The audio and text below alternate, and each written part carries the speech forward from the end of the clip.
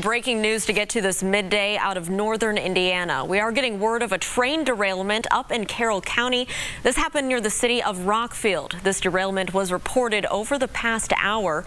Call 6 Investigates has learned from the Carroll County Sheriff that several train cars, including some tankers, ran off the rails there. Right now, we do not know what was inside of those tankers. The sheriff also tells us high winds may have played a role in that derailment. Right now, RTV6 has a crew working to find out more information for you. As soon as we know anything, of course, we'll have it for you right on your RTV6 app.